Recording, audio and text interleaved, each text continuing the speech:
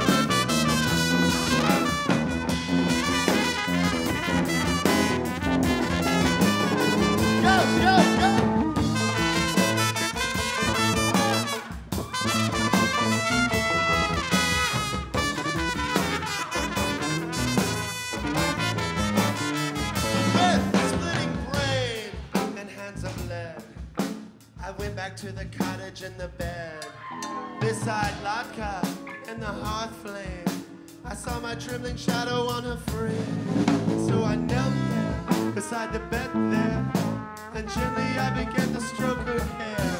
And I said, Latka, your heart is fickle. And I killed her with a